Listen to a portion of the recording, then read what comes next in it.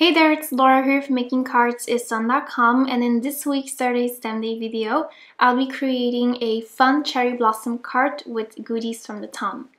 So in today's video, I'm using the Wild Cherry Blossoms stamp set from the Ton to create a really nice sequin shaker card. So I'm going to start out with some Neenah Solar White cardstock and I'll be stamping the cherry blossoms to this white paper. I'm using a couple of different inks I'm starting out with the soft amethyst color, which is a gorgeous color. And I'm using ink pads from the ton. These are my favorite inks on the market because I just love the colors and the quality. Next I'm stamping some um, more cherry blossoms with the Arctic Sky ink from the ton. I really like this color because it's such a it's like a blue but it also has this touch of purple to it which I just really like. Next I'm stamping some blossoms with soft orchid ink from the ton and then I'm going to bring in some soft pink with the rose quartz ink from the ton. This is probably my most used um, ink pad.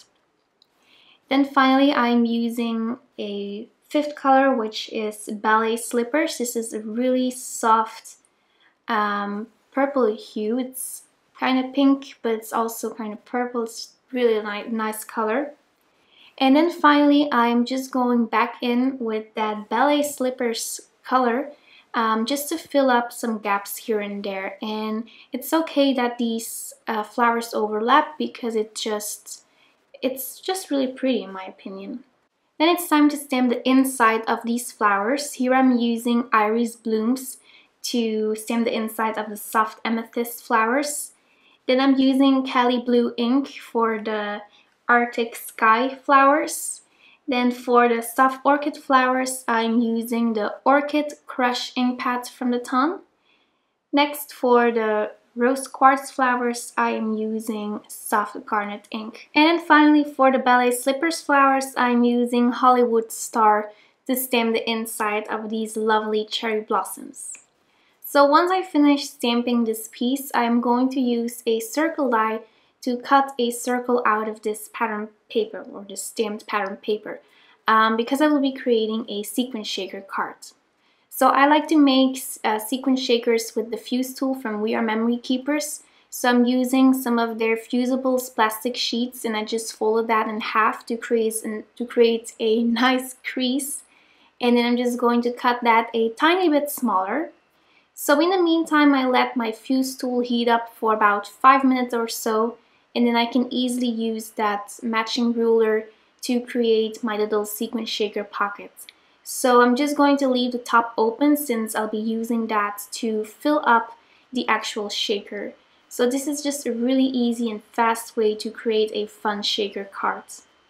I'm filling up my sequin shaker with the Peony Sequin Mix from the Ton and I'm just going to mix um, this mix. So I'm going to mix this sequin mix with some of their glass slipper sequins. And I'll also be using some clear uh, flower sequins. So you can find links to all of these products in my video description below. Or if you're watching this video on my blog then you can find a supply list at the end of my blog post. So once I um, filled my sequin shaker, I'm going to close it all up by just fusing the by fusing the top. So there you have my little sequin shaker. I'm going to stamp a sentiment from the basic label stamp set from the Ton with some of the um, noir ink. So this is just a true black dye ink. So I'm going ahead and I'm stamping that greeting onto some white cardstock and I'm going to trim that down with my Fiskars Surecuts and I'm making sure to leave a white edge around this greeting just for some extra interest. So now that I that I have all of my pieces ready for this card, I can start building it.